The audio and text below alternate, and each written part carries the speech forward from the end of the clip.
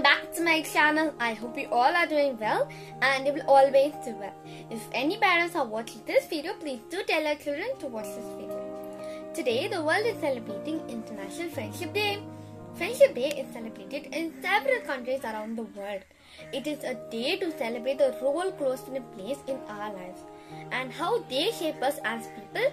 This day was first proposed in 1958 in Paraguay However, it is known to have originated in 1930 from Hallmark cards by Joyce Hall. International Friendship Day is celebrated annually on July 30th. However, countries like India, Bangladesh, Malaysia, United Arab Emirates, and United States mark Friendship Day on the first Sunday of August every year. The United Nations declared July 30th as the official International Friendship Day in 2011 at the United States 65th session in 1998. Nane Annan, wife of the former UN Secretary General Kofi Annan, declared the lovable Disney character Winnie the Pooh as the global ambassador of friendship at the UN. The UN, the origin and history of Friendship Day. The first idea of this day was introduced by the Joyce Hall, founder of Hallmark In the 1920s.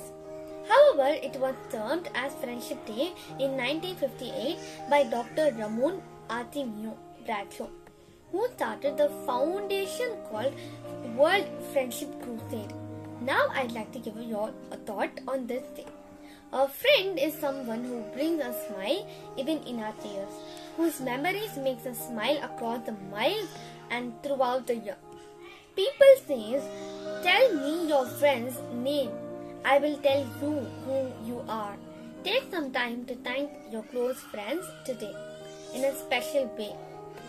Happy Friendship Day to you all. Okay friends, I hope you all would like this information and this video too. Please like, share and subscribe to my channel and I will meet you all in the next video. Until then, stay motivated, stay inspired. Is bye from Salomi. Bye.